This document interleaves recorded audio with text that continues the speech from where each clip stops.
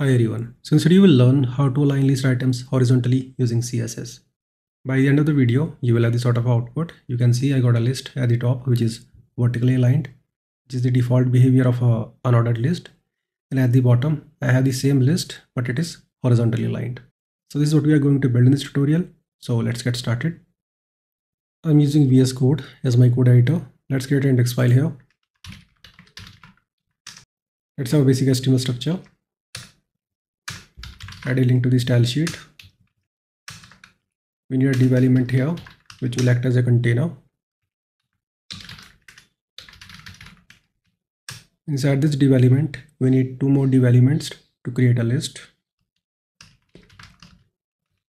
So let's give it a class of list container.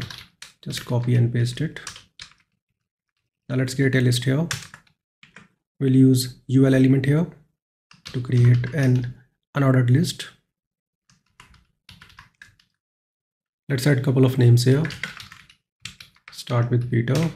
Just copy and paste it five times. Let's make it ryan craig james and marks. Now simply copy this list and paste inside this div element now because this list at the bottom will be horizontally aligned. So let's add a class here horizontal list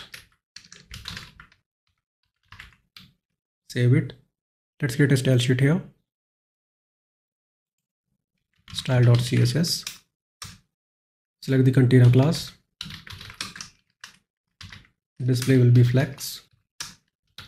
Flex direction will be column. Align items will be center and gap will be 20 pixels.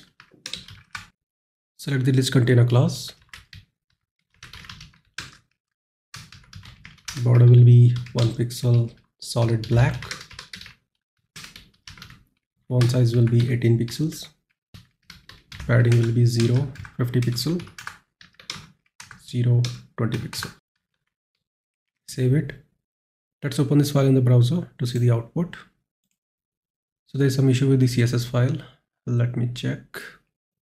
It should be container. Save it. So you can see both the list items are currently vertically aligned, but we are going to horizontally align these list items.